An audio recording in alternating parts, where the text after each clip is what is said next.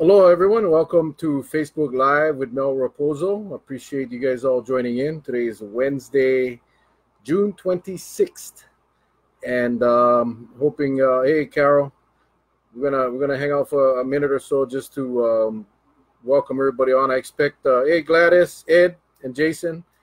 expect a lot of people on today. Um, Alan, aloha. Thanks for joining us. Um, Paul Pancho, Christian, and Jody. Aloha, you guys. Thank you. Thank you for joining us. I know we're going to get a lot of people on today because we're going to be discussing uh, what's happening out there in, in Hanapepe at the salt pond, at the salt beds and the salt pans. And uh, yesterday there was a planning commission public hearing, uh, which I attended uh, along with probably over 200 other people. Hey, Rosen. Oh my gosh, these comments are, are flying. I, I might miss some of you guys. I apologize. I apologize. Um, we're gonna Clayton, Bethany, Karen. Hey, Karen, I just uh, was chatting with you. Vaughn, Robert McCain, my good buddy. Aloha, you guys. Alfred, Billy, Kaneolani. Long time no see. Uh, how come I wasn't at the council meeting? I did watch the council meeting. Um, and uh, happy to see that the resolution was done, Jody. Uh, you know, we gotta put the keep the pressure on the administration to pursue Waipoli. and uh, we'll have that discussion uh, at a, at a, in a, on a future Facebook Live. Hey, John, Brian, tuning in from Meno, Menomonee, Wisconsin. Another vacation all the way in Wisconsin. Beautiful country out there. Uh, my, my mom was at the Mayo Clinic. I broke her out of the hospital one day, and we drove aimlessly, and we ended up in Wisconsin, and just was beautiful, beautiful country. Jimmy Trujillo, Matt Kavika, Robert Betos, Ray and Leah, Larry, Mr. Colo or Miss Colo Kahilani, sorry, Debbie, Kenny, Kehao, gosh, that's it. That's it, guys. That's why we do this. And there's Kule. Thank you, Kule, and congratulations on uh, being granted the uh, intervener status. Eric, you will represent the people well, uh, Kule. Thank you so much. Thank you, guys and I'm praying that this uh, internet stays true. I expect uh, some some very good discussion. Uh, uh but I did want to dedicate today to have a discussion about about Salt Pond, and um, you know we do this every Wednesday at 5:30, and I try to you know uh, uh, along with the topics that people text me or message me that they want to discuss. You know, if if I feel like there's something that I think the public should know, hey Jeffrey, um, I, I want to share it. You know, again, this this whole platform here, Facebook Live, uh, the sole purpose of this platform is to is to share information. Um, hey, Debbie, and and you know, inform and educate. Napa, what's happening, buddy? What's happening? And uh, you know, Mahina and Angie, thank you guys for joining us again. Uh, again, I, I, expect a lot of people on today because I think this this issue down at Hanapepe at the salt pans, uh, um, the, the, salt makers, Xavier and Leo. Aloha. Clayton, thank you guys for joining us. Thank you, thank you. I apologize if I missed some of you. These things, this thing scrolls pretty quick, and uh, you know, Patsy is usually my technical person that, that watches on her phone. She's out shopping right now. She had to go to Foodland now because the traffic was light, so she went out. Uh, she'll be here shortly. But anyway, uh, again, I just want to thank you guys. Ron, Ron, all the way from Texas. Awesome, awesome. Dad, Thomas Rapozo, my pops, all the way from Washington. Marlene, Abigail Santos, great job yesterday, Abby. Woo, straight from the heart and to the point. Thank you very much. My sister Sandy, all the way from Wailua.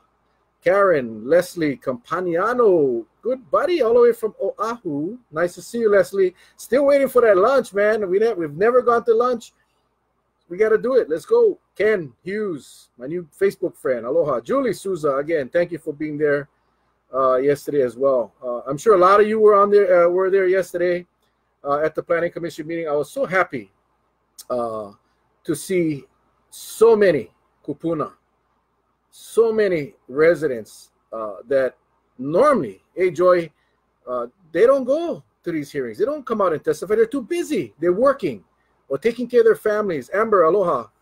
Uh, but this issue is so important and so vital to, to, to, to this island Kaleo Perez, aloha. Amber, thank you for joining us. So important to the Hawaiian culture, to the native Hawaiians, to the salt makers, to this culture, this practice that has been going on for for longer than any one of us have been here. Um, hey, Kirk, thank you for joining us. Roland, aloha, you guys. Uh, so it, it, was so it was so nice, and I, I told myself after the election was done that I was going to stay away as best I could from from these meetings and from testifying. But um, hey, Diane, uh, when this issue came up in Kule, I read Kule's post, very emotional post. Uh, you know, I felt that it was it was my duty as, as as a as a citizen, as a resident of this island, someone that's born and raised here, that I talked about yesterday uh, when I when I went up to testify. I identified myself as Melvin Francis Rapozo, the most non-Hawaiian name that they would hear all day, but growing up here, born and raised on this island, and every one of you, I know this is true. You were taught from a very young age, from as far back as you can remember, that the salt pans, the salt beds, that whole area was a sacred area. That in fact, we were not to go in there unless we were invited. We were not to go mess around or touch anything uh, in there. That in fact, it was sacred. It was a practice that was reserved the kuleana of, of the salt makers and their families. It was passed on from generation to generation. And uh, Francis with an I, Jeffrey, Francis with an I. uh, hey, Sunny and Wes and Layla, thank you guys. Um, now I felt compelled to go and at least testify in support, um, to support all the salt makers that have families and, and, the, and the generations of families that that uh, have have continued that practice, that cultural practice, uh, the rituals on there, and the, the, the sacredness of that spot. So, you know, like I testified yesterday, I left the cultural aspect uh, of A. Don and Mildred to to the salt makers and the families of salt makers, and to, and to the kupuna that uh, know much more about that. Lisa Moroski, how are you? Nice to see you all the way from heaven knows where, someplace on the East Coast, I think. Uh, anyway, but nice to see you, Lisa. Thank you. Uh, Haunani, thank you yes for yesterday as well. I mean, it, just again, there's so many of you on this on this session that that were there yesterday, and and for those of you that weren't there, I'm sure there were many of you that were there in spirit, in support of, the salt makers, and more importantly, the, the practice, this cultural practice. So anyway, um, as I testified, I was going to leave the cultural uh, aspect uh, to to to those families and the salt makers. What I wanted to focus on and what I'm going to focus on today, because I think we can get caught up in the emotion. We can we can we can really get caught up in in in in, in this battle. But what I wanted to do is is really inform and educate the the people, the general public. And I'm hoping that you all share this video or this Facebook live. I think you can do it right now. I don't do good with this stuff. But I believe there's a way you can share it right now so everyone can see this. Because I think it's important that the public understand uh, what is actually going on as far as the Planning Commission is concerned. You know, the Planning the Department did a, uh, a report that was submitted to the Planning Commission yesterday. It's, a, it's called a Director's Report. And in it is, is all what the Planning Department found as they were uh, reviewing the application of the, the, applicant, which is Maverick Helicopters or Smoky Mountain Helicopters. Hey, Raleen and Darlene, how's it going? So, but so what I wanted to do, and it, it, it may, we may take a while, and, and I hope you guys can stay on. I hope I hope my internet stays on. But I wanted to go over what the director report, the director's report, showed, what it revealed. Hey, Rory and Chad, thank you for joining us. I wanted to go step by step so that people understand exactly what is going on out there. Because AP Ilani Aloha is very evident and obvious for anybody that lives here, born and raised here, anyone to understand that it's just wrong to threaten the bids. It's it's just wrong to do anything in that area that would threaten the salt making process. And let, let me give you a little back a little bit of background. You know, I, I first got elected in 2002.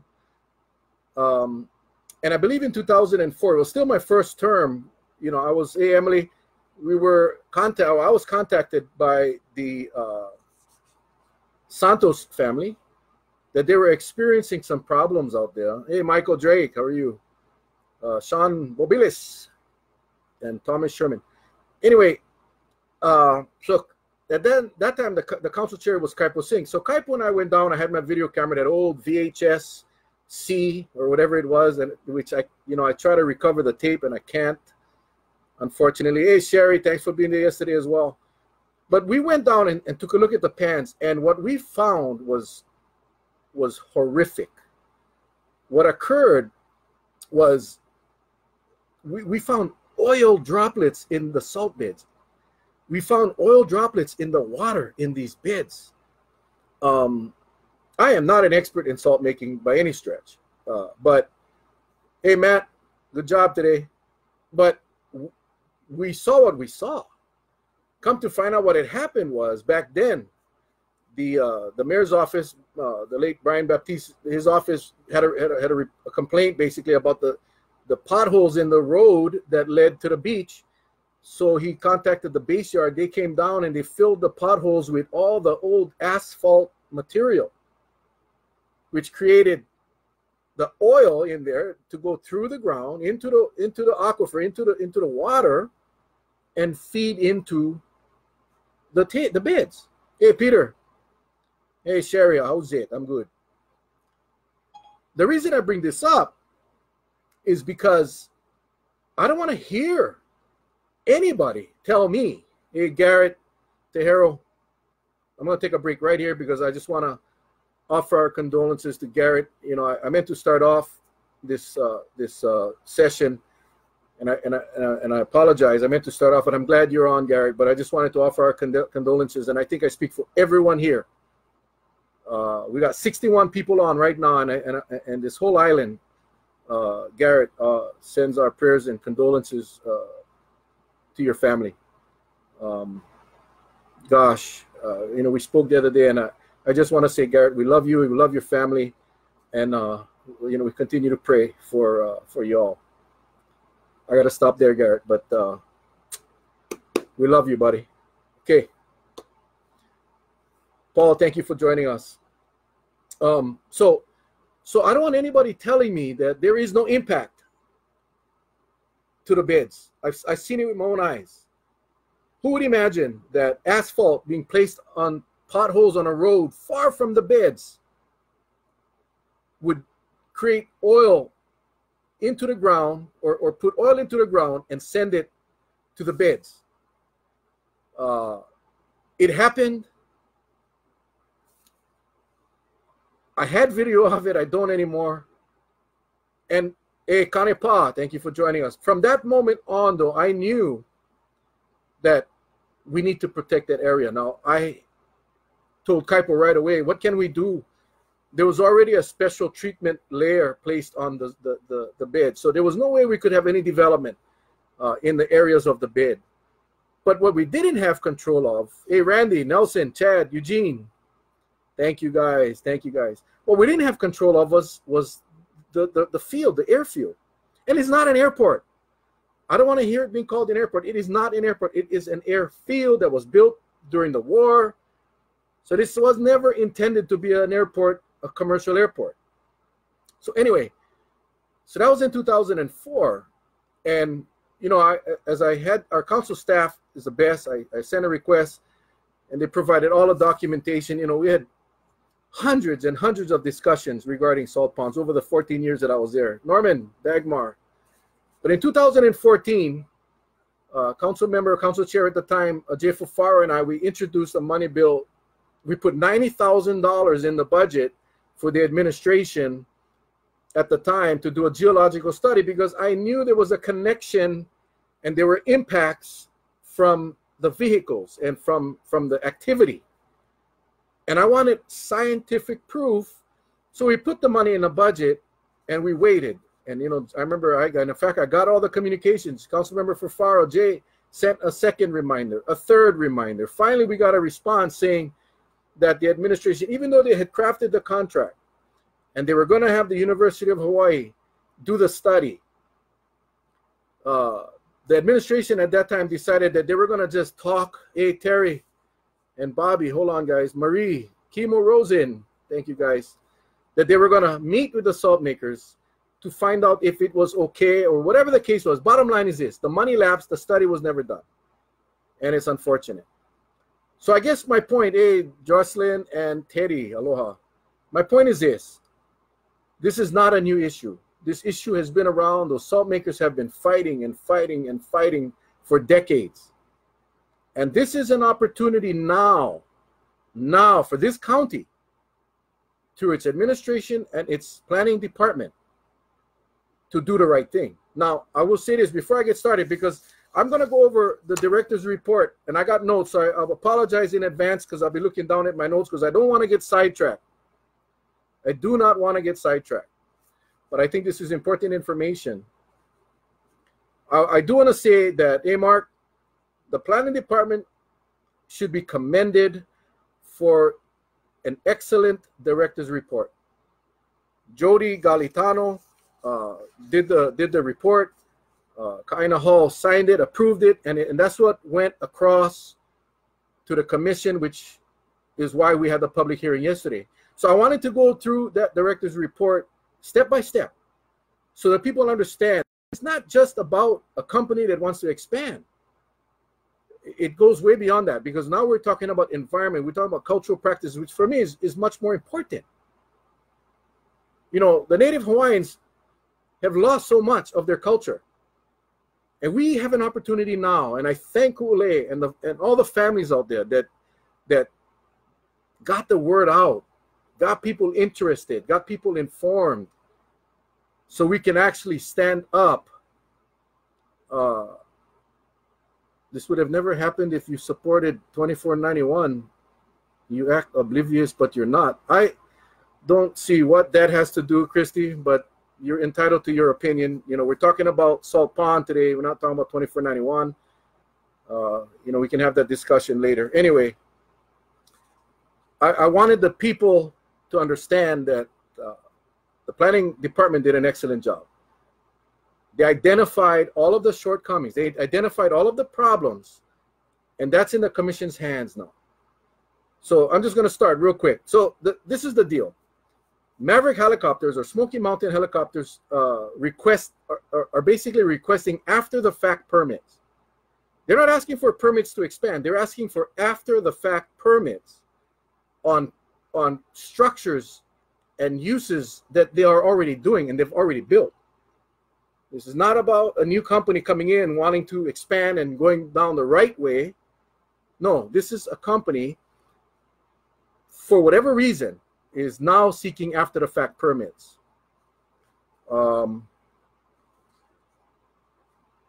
they're asking for permits after the fact per, per, permits. I'm getting all upset for restroom facilities that were already built that's illegally connected to a cesspool.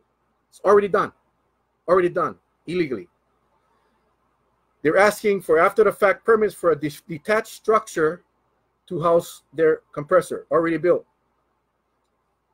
They want an after the fact permit for placement of a 12 foot by 56 foot mobile office trailer that would replace or that replace an 8 by 40 container or trailer, and they want to they've moved that eight by four uh, trailer somewhere else. So they're asking for a permit, an after the fact permit. Hey, Russ and Jason. And they're also asking for an after the fact permit for an 8 by 4 concrete generator pad for a propane gas tank. Okay, uh, this is what this discussion is about. After the fact permits. Now, the planning department identified several problems with the application. Number one, a shoreline setback application needs to be done. It's required by state law. That was not submitted.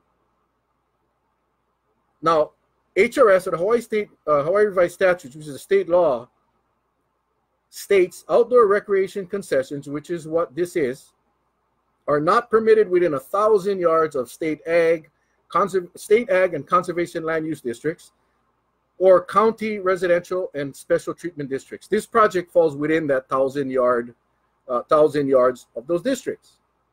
Hey, Priscilla, uh, Patricia. Um, It was not county approved. Absolutely not. Uh, the existing use cannot be considered to be legally non-conforming because there was never a public hearing for a use permit. So that's just the problems off, off the top with the application. There's also a problem with the Kauai County General Plan. Again, this is all coming from the director's report. This isn't hearsay. This isn't Mel Rapozo's theory. This is coming right out of the director's report.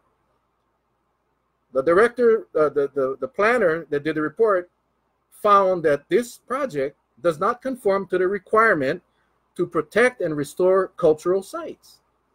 It's not in compliance with the Kauai General Plan. Now, the applicant made these statements in his application. Number one, this project does not make any strategic infrastructure investments to the community. Absolutely not. He's correct. They're not doing anything that's going to benefit the community. It will not reduce the cost of living. It will not increase traffic or congestion. Will have negligible negative visual impacts. Now, this is all subjective. It's not, it's not objective will have negligible negative visual impacts. It will provide an activity for visitors to see the island from a different perspective. I, I don't have a problem with that. Just right next, not next to a culturally protected area. Aileen Allah and Carnation and Rodney. Thank you guys. Thank you guys. Um, it is not located within or near any watershed areas. It will not contribute to any shift to clean energy. They're not utilizing any clean energy technology. Will have no substantial impacts on the salt makers or their salt beds. That one bugs me. Will have no impact on the public's access to streams, shoreline trails, or rec areas, or places associated with Hawaiian religious, cultural, or traditional practices. Oh, come on. Come on. Teresa, Johnny, Summer, aloha, will not provide for or diminish nurturing the young people of Kauai and will neither honor nor dishonor or discredit the kupuna of Kauai. You see, what these people are failing to recognize is that the impacts to these beds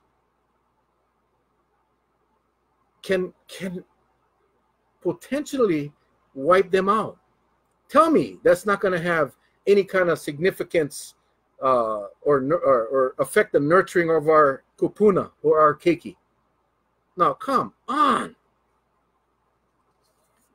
This one is very important. Environmental assessment is required. Environmental assessments, again, by state law, required for all new and expansion or modifications of existing helicopter facilities, specifically helicopter facilities.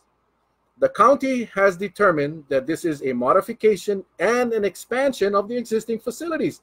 They've expanded, they've modified, they've, they've put up buildings, they've built concrete pads, they put a restroom. And the county has identified that. That's why I say kudos to the planning department and Jody Galitano for, for you know, this is, I've seen so many planning director reports in my years and this one was the only one, or, or one of a very few that was right on point. The applicant stated that they are not proposing new or expansion uh, or modifications of any helicopter facilities. They're, they're, hey, Betty, how are you? How are you? And I'm sorry because I'm going to have a rough time doing the comments. I'll, I'll, respond to the comments after we get offline and, and you'll be able to see them because I want to really focus on this, uh, my notes here. The applicant states they're not expanding or modifying the facilities. They've already done it. So an EA is required, and they constructed those uh, those modifications and improvements without an EA. Ilima, DC, and L. Aloha. So the county now is saying that the applicant must submit an EA prior to the planning commission taking any action on this permit. Leilani, uh, Leolani, aloha. So in other words, done. Done until they get these things done. Now, there's also uh, a requirement for a use permit. which was never gotten. And a use permit may be granted only if the following are met. Number one, the applicant must justify compatible use.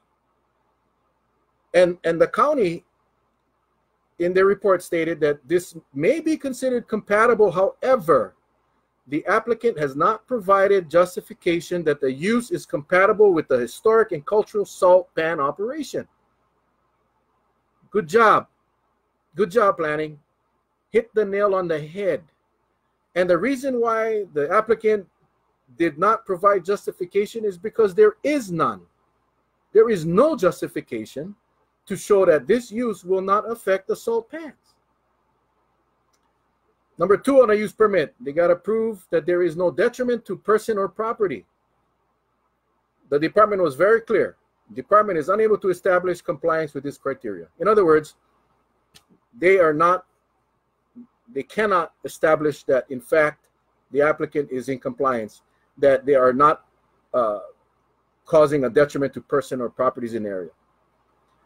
In the third, number three for use permit, environment consequences. Without a required environmental assessment, the department is unable to establish compliance at this time. Absolutely. How can you make that determination without the environmental assessment? Remember, they're saying they don't need one because there's no modification or, or expansion. And the county is saying, no, you do. Number four, consistency with the CZO and general plan. The department found, this is important, the depart, department found that the use is not compatible with the guidelines for the open zoning district.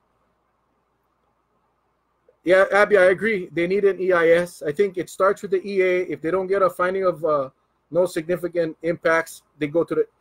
But bottom line, I agree with you. I, I agree with you. Uh, it should be an EIS, which would be the full Im impact statement.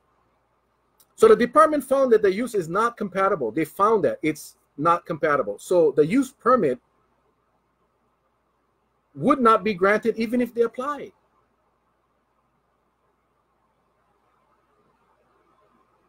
Napa, if you don't have anything positive to shut your mouth.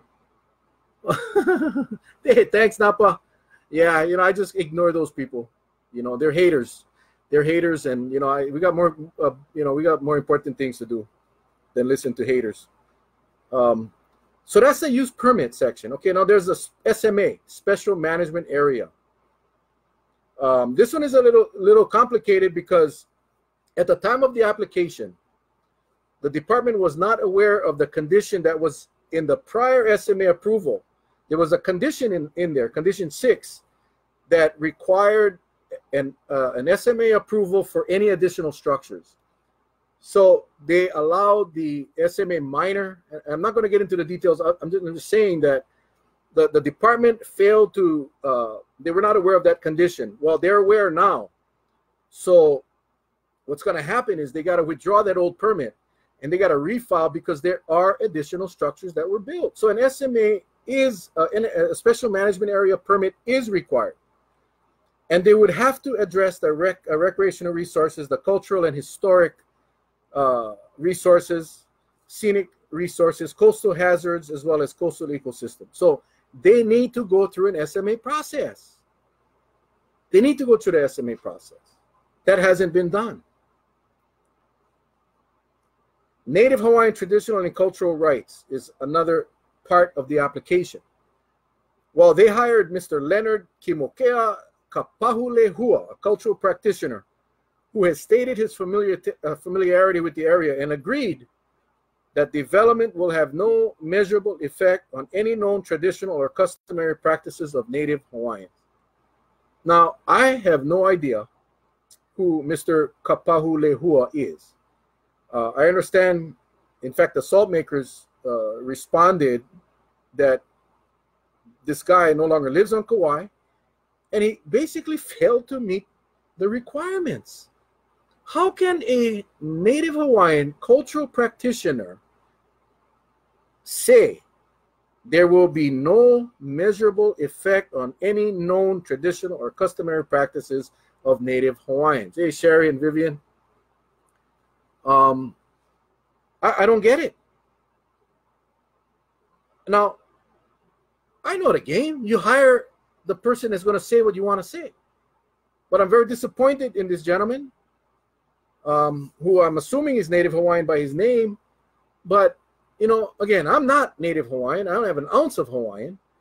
But we were taught from a very young age about the sacredness, as I stated earlier, uh, of that area. And and I and I also stated that I saw the oil coming through the water in the bed. So please, please, um, I don't know what it takes to become a cultural practitioner, but you know, I I, I suggest that this applicant, not, well, I'm not even going to go there. I'm just saying, I don't believe that this guy's uh, report is accurate. I don't think it's valid, and uh, neither does the planning department. So this is the department, the department's uh, requirements.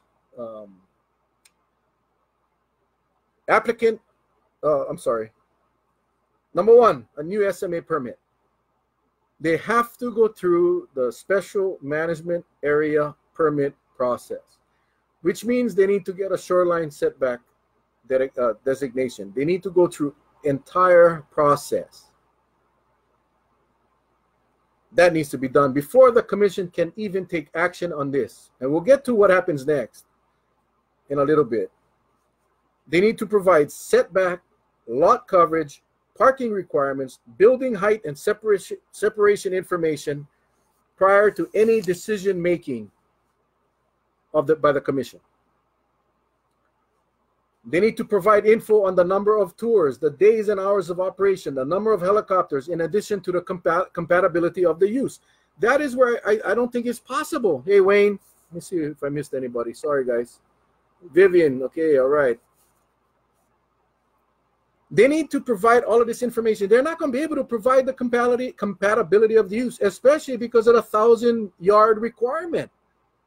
It's not a compatible use, and it cannot be it, it cannot be a um, non-conforming use. That use is not allowed within a thousand yards of those special districts. Christy, aloha. Kolohe Kapu and Mariah, thank you for joining us. They need to adequately adequately address the impacts to historic resources identified in the general plan. They need to comply with the requirements for the open designation in the Hanapepe Ele development plan. They need to do an environmental assessment. I would hope that this county will require them to do an environmental impact statement and not just the environmental assessment. And that, but this is the, the requirements of the county. Comply with the requirements for the, I'm sorry, an environmental assessment with a finding of no significant impact prior to commission actions. And, and I think we need to revisit that. I think we now need to put the pressure. A great job yesterday and I think we got you know I, got their attention, but we cannot stop. They need to provide outreach to satisfy the requirements of Native Hawaiian and traditional cultural rights. How is that going to happen? Hey, Philip, how is that going to happen? It's not going to happen because it's not compatible. And they got to get approval of a use permit. We already talked about that. We already talked about the use permit and the fact that um, it doesn't, it's not compatible. It, there is a potential detriment to the people and the property. There are environmental consequences, or at least we don't know, but they need to prove that there is no environmental con, uh, consequences. And the consistency with the CZO and general planning, we've already determined that they're not in compliance with the, the Hanapepe Eleele development plan as well as the general plan, as well as the CZO, the county zoning ordinance, the law. They're not in compliance. Hey, Darlene, Larry Moises, aloha. Thank you guys for joining us. So they came up with a preliminary conclusion and it said the application as submitted does not address the issues that, that I just discussed, and the Planning Commission cannot take action without an environmental assessment. The, department recommends that the application be denied or deferred until all issues are addressed by the applicant. You know, again, I, I cannot thank the planning department enough for doing what I believe is a, a very thorough, hey, Bernadette, um, a, a report. And now it's in the commission's hands. uh, they did vote yesterday on in, uh, uh, approving intervener status to Ku'ulei Santos and Malia Nobrega Olivera, president and vice president of Hui Hana Pa'akai o Hanapepe. And, uh, you know, again, what that is, is now Ku'ulei and Malia has a, has a voice. They have a seat at the table. They have a seat at the table, and uh, and and our voices will be heard through them. They are a part of the process. They don't only have three minutes anymore. You know, they're going to be at the table. They're going to be a functioning part of this process. Hey, Stacy, Dave, aloha. Let me see if I missed anybody else. Sorry again, like I said, I missing. I'm going to go back to the comments because I'm going to wrap up real shortly. So I'm going to go ahead and the comments and answer what I can here while we will live. Um, so congratulations on that uh, to Ku'ulei and Malia. Um, that's that's a huge step. You know, that's a huge step. So what happens next? I'm sure everybody's wondering what's going to happen next. Um, I agree, Sherry. I believe we need to do an EIS. I, I, do, but I also believe that that's just a non, not not a compatible use. Period. So I and I'll get to what I what I think should happen. The first thing that needs to happen is the county planning department and this administration needs to implement or administer the fines to this company. You see, they're operating without a permit, without legal permits. They, they have no permits. They're they're admittedly by applying for this permit. There, there's no there is it's there's no dispute, no dispute. Um, Jody Gal. Oh, there's Jody. Oh, I'm glad you're on. I, am sorry, Jody. I didn't see. How about a big hand for Jody Ellison Galinato? Enforcement is going to happen. I love it. Thank you for joining us, Jody. Whew, I'm glad I said all good things about you. Uh, Marilyn, thank you. Kayla, Princess is here. John McFarlane. Um, thank you, Jody. I'm glad. I'm glad you clarified that. And you can, you know, I'm, I'm thank you. So so I, I'm, I'm hoping that the planning department is going to start administering these fines. And these fines should be significant. You know, we've been hearing a lot of talk lately from the council and from, from uh, the administration and planning about these $10,000 a day fines for TVRs. You know, I got to tell you, I don't like TVRs. But this, to me, is much more serious than a TVR violation. Much more. So if we're talking about $10,000 a day fines for TVRs, then this should be a 10 Ashley Nagaoka, oh, oh, oh, uh, oh, now gonna be on the news. Then this should be a $10,000 a day fine. And we should not wait. Illegal structures, unpermitted structures, unpermitted restroom, illegal hookup to a cesspool. Cesspool! You cannot even build a cesspool anymore. So that's number one. Start the fining now. And if we can go retroactive, I'm not, I, I should have pulled the statute, but if we can go retroactive, we go retroactive. Number two, issue a cease and desist on the operations until compliance is met. No more tours.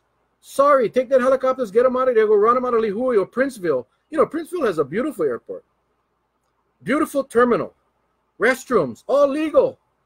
Go over there and go pay Princeville Airport and run out of their place. Or go get a place in Lihue. The, the state's spending millions of dollars. They improved all those helipad areas and the, all kinds of stuff going on in Lihue. Go there. Unfortunately, John, we can only do 10. Hey, Dennis, Onishi, we can only, the maximum is 10,000 a day. That's what we should be charging them. And those funds should be going back to the salt makers for all of the hassle they've been going through all these years, decades. So that's number two. The county needs to issue a cease and desist. They are operating in violation of the law. They don't have a use permit, no SMA permit, no building permit, no structure permit, no bathroom permit, no cesspool permit, nothing. They need to stop. And number three, this governor needs to start looking at removing all commercial activity from Burns Field. We need to remove commercial activity, period. Burns Field. I understand the state gets money from these parachute companies and helicopter companies, but I don't think the, the, the, the governor, I don't think many leaders today don't understand the significance of the Pa'akai. I don't think they understand the importance of a cultural practice that is at risk. I don't think that these people understand. You know, they, they, you know, kalo, haloa. These things, the, the, the native Hawaiians have lost so much in in the way of their culture. And we have an opportunity. I said this yesterday at the meeting. We have an opportunity today to fix this wrong. And you do this by putting the, the, the focus and the priority on the salt makers and the salt beds, the, the practice, the rituals, the sacredness of that area. I'll be honest, you know, Kaipo and I tried our best, and we could do only so much up into that field. And while we have tried to get the the state to hand that over to us so we could have control, they're not giving it up.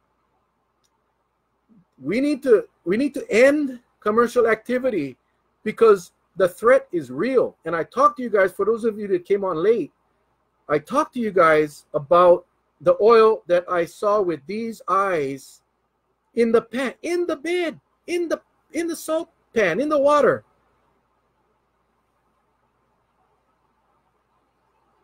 It's real. We cannot relocate these pans. We cannot go go buy land and recreate and build this.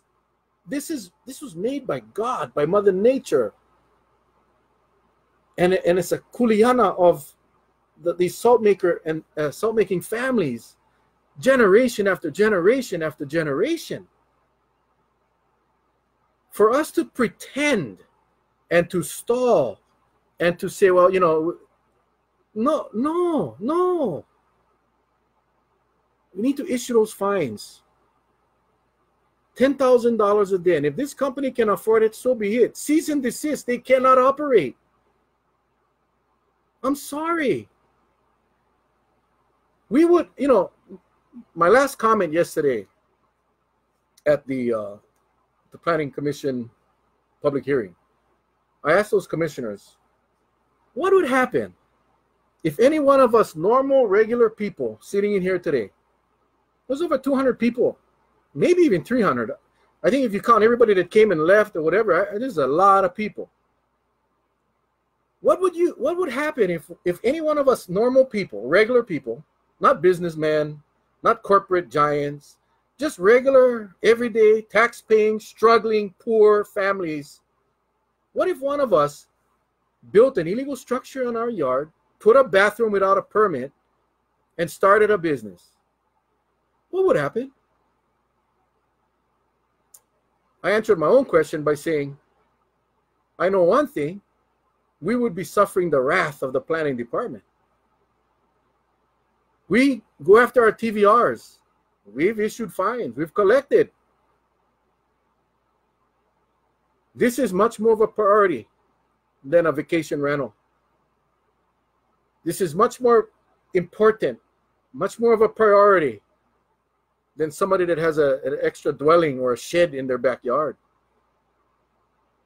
So my my only hope, and and and Jody, if you're on again, you know, I I hope that the planning department did their job up to this point. It's in the commission's hands, but now the department needs to put their foot down, and they need to go after these guys. Either come in compliance or pay the price. Now, the other option is for this company to withdraw their permit applications and pack up and leave. But that doesn't solve the entire problem because that whole area has been modified and they need to restore that area back to what it was pre pre-modification or pre-expansion. That's what they got to do. And this county needs to assure that that is happen that, that that is done because we just got too much to lose. the cultural practice out there at Salt Pond, those salt makers and their families and the generations that they have carried this tradition and this rituals and this practice should be, needs to be the utmost priority of this county right now. I'm going to try to get through some of these comments. Um, yeah, I thought we were going to take the whole hour, but uh, that, that that's it. Again, you know, my comments, it's not hearsay.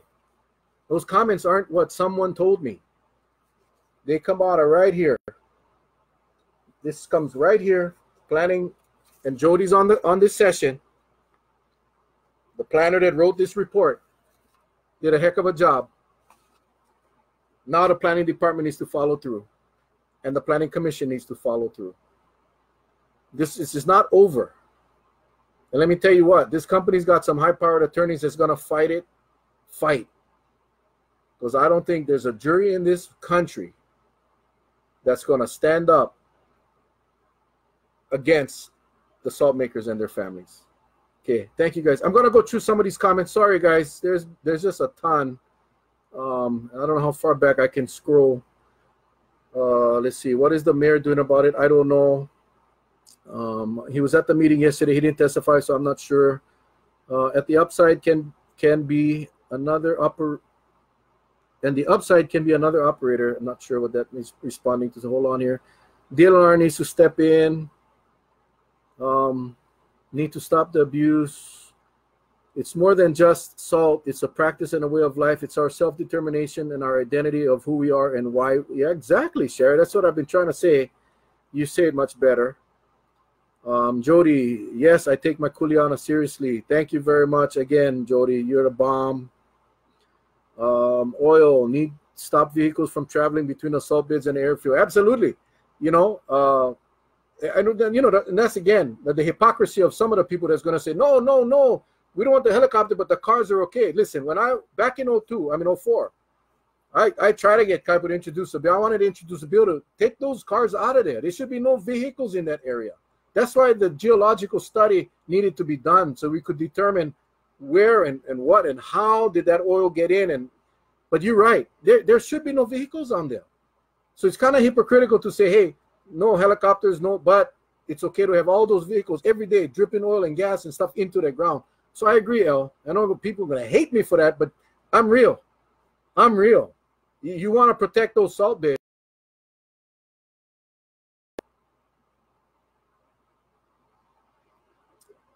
oh, I think I lost connection. Can you guys hear me?